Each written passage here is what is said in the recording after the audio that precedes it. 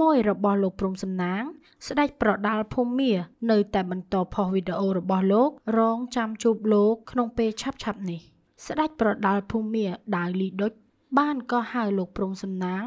មួយលើកជាពីរលើកហើយ ហើយមួយរយៈមុន លោកដាវលីដុចបានបង្ហោះសារមួយនៅក្នុងគេហទំព័រ Facebook ផ្លូវការរបស់គាត់ បានបង្ហោះ poster ការបរិច្ឆេទការប្រកួត និងទីកន្លែងការប្រកួត នៅ ប្រទេសស្លូវ៉ាគី សម្រាប់ជំនួបរវាងកីឡាករព្រំសំណាងនិងដាវលីដុចជំនួបរវាងការប្រកួតរបស់អ្នកទាំងពីរវាក្នុងលក្ខខណ្ឌដណ្ដើមខ្សែក្រវ៉ាត់ច្បាប់ប្រដាល់ Lead Way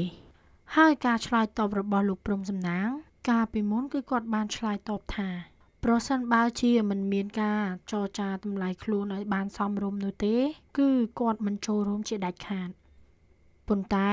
ថ្មីថ្មីនេះស្ដេចប្រដាល់ភូមាដាវលីដុចបានផុសវីដេអូភ្ជាប់ជាមួយនឹង caption ថា